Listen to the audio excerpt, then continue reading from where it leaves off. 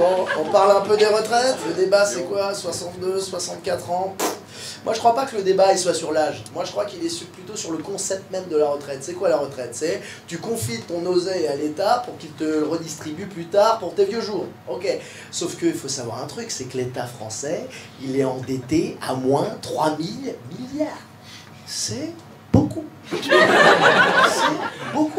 C'est comme si l'État, si c'était un pote à toi, c'est un mec, il est endetté à moins 3000 milliards. Il a un découvert de moins 3000 milliards. Vous vous rendez compte? C'est beaucoup.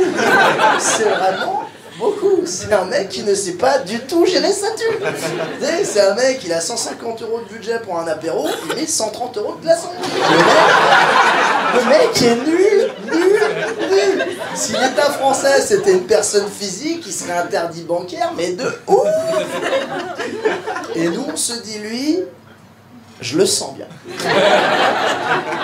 Je vais lui confier mon oseille. Et il va me le rendre dans 40 ans. 42, tiens, ça a changé là. 43, bah, il va vite. euh.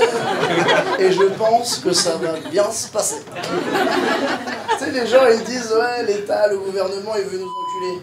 Mais ça, c'est clair Il est déjà dedans Maintenant, c'est qu'une question de centimètres. La vraie question, la vraie question, c'est jusqu'où peut-il aller?